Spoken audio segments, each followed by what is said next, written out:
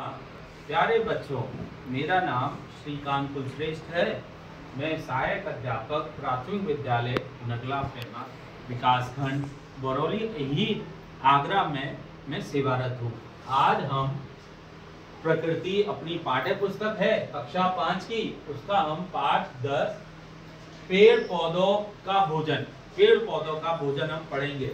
इसका learning outcome है कि विद्यार्थी ये जानेंगे कि पेड़ पौधे अपना भोजन कैसे बनाते हैं। ठीक है? कौन सी प्रक्रिया होती है? जिसके द्वारा पेड़ पौधे अपना भोजन स्वयं बनाते हैं। ठीक है?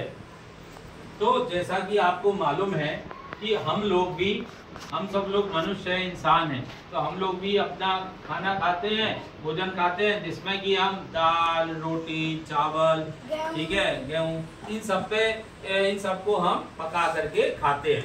ठीक है? लेकिन पेड़ पौधे अपना भोजन स्वयं बनाते हैं। आपको मालूम है ये बात? हाँ अच्छा आपको मालूम है। गुड ठीक है? तो पेड़ पौधे अपना भोजन कैसे बनाते हैं? क्या होता है कि ये जड़ है। क्या है? जड़ है। इसके अंदर ये जड़ है। ठीक है? जड़ है और इसमें हम पानी डालते हैं। क्या डालते हैं? पानी। पानी। पानी देना जरा। ठीक है? पानी हम डालते हैं।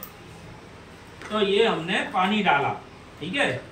ये हमने इसकी जड़ में पानी डाला। तो इसमें क्या है बेटा? मिट्टी है क्या है? मिट्टी। मिट्टी है। तो मिट्टी मिट्टी में हमने जल जल डाल दिया हमने। तो इसमें से खनिज लवण भी है। इसमें क्या है? खनिज लवण है।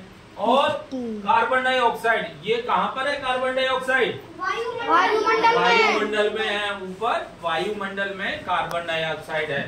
ठीक है?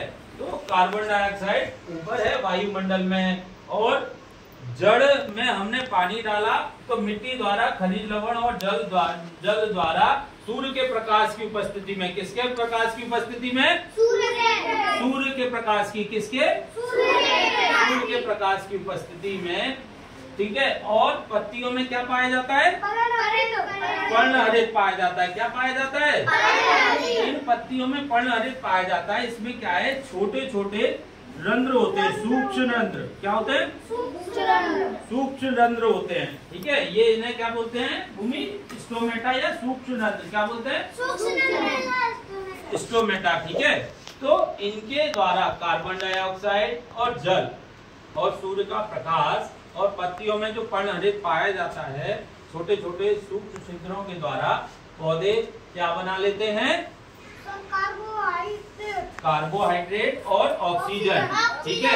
यही इनका भोजन होता है। ठीक है? कार्बोहाइड्रेट और ऑक्सीजन के रूप में पौधे अपना भोजन का निर्माण स्वयं करते हैं। इस पूरी प्रक्रिया को क्या कहते हैं? प्रकाश संश्लेषण।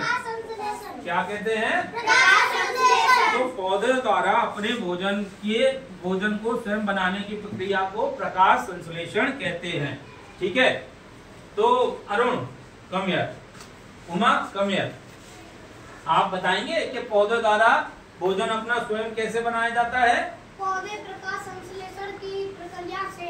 हाँ। कार्बन डाइऑक्साइड जल सूर्य का प्रकाश पत्तियों में पर्णहरित पर्णहरित कार्बोहाइड्रेट ऑक्सीजन हाँ तो पौधे क्या है? यहाँ पे जड़ में हमने पानी डाला था, ठीक है? डाला था हमने जड़ में? तो इसमें क्या है? जड़ जड़ क्या है? जड़ धीरे धीरे जड़ में से क्या है ये मिट्टी द्वारा जल और खनिज लवण इसमें खनिज लवण होते हैं तो धीरे धीरे ये जड़ कहाँ पहुंचाती है? तने में। किसमें पहुंचाती है? तना क्या है? इनकी शाखाओं में पहुंचाता है। शाखाओं से पत्तियों तक पहुँचता है।